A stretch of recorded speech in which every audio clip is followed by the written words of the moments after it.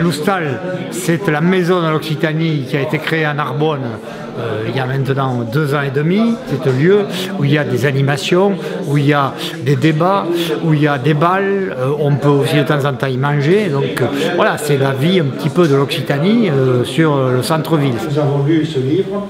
On a trouvé qu'il y avait des thématiques intéressantes qui souvent rejoignent celles que le mouvement occitan depuis 30 ou 40 ans soulève. Ah ben, euh, décidé des Cumbida, Philippe Villemus. Alors vous avez intitulé votre livre Midi se meurt. Oui.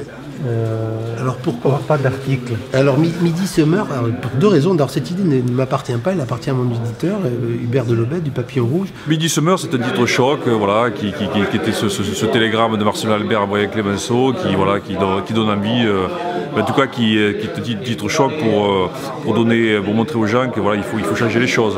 Il, faut, il, faut taper, il fallait, fallait taper Alors souvent quand je fais des conférences là-dessus, on me dit ouais mais à quoi ça sert de parler breton, occitan, auvergnat Alors c'est vrai, mais c'est comme si on me disait euh, mais à quoi ça sert d'avoir des, tuiles rouges ou des beaux paysages ou euh, des chênes ou des mimosas euh, dans notre nature? On peut dire que ça sert à rien, mais si, ça sert parce que la beauté ça transcende le réel.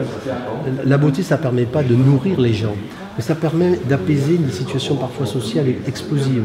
Et la langue, la langue fait partie, pour moi, de cette, de cette beauté. Parce que si on, Finalement, une langue, c'est quoi par rapport à un dialecte comme l'occitan ou le breton? C'est un dialecte qui a réussi. Le français est un dialecte qui a réussi la mondialisation heureuse où tout le monde parlerait la même langue, mangerait la même chose, vivrait et regarderait les mêmes films et tout ça se passerait bien, eh ben ce n'est pas vrai. Il y a des tensions. Par contre, il faut que cette mondialisation, elle se fasse dans le sens où il faut qu'il y ait une pacification euh, au niveau mondial, mais dans le respect de l'autre, dans le respect de la diversité. Parce que je le répète, la spécificité de l'espèce humaine, c'est qu'elle est unie dans la diversité. Mais si vous supprimez la diversité, vous tuez l'espèce humaine.